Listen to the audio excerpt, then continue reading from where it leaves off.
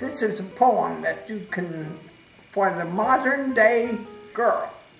Please don't ask me to marry you yet. My mother would just have a fit. After all, it was this morning we met. Can't you be patient a bit? I'll wed you tomorrow, sweetheart, if you like. We'll share the same hairbrush and comb. But stop insisting upon it tonight, or I'll get up and get dressed and go home.